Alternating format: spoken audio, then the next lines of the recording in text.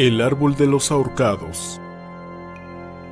En una pequeña comunidad de Victoria de Cortázar, en Guanajuato, dentro de México, yace un famoso árbol de mezquite, del cual pendieron alguna vez ahorcados inertes y derrotados, muchos revolucionarios caídos durante la Revolución Mexicana, aunque, según la versión popular, los ajusticiados eran bandidos dedicados al pillaje. Sea como sea, todavía, hoy en día, se dan fenómenos paranormales en torno al árbol.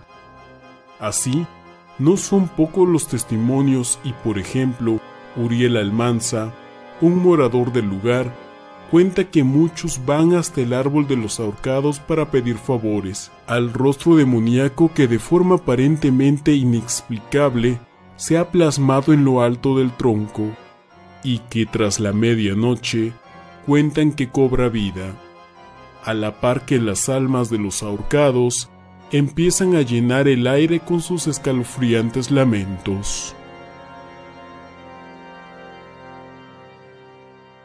Muchas gracias por ver el video.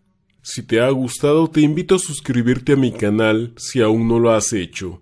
Si te gustó el video, no olvides dar me gusta y compartir en redes sociales. Puedes hacernos también tus comentarios. Hasta la próxima.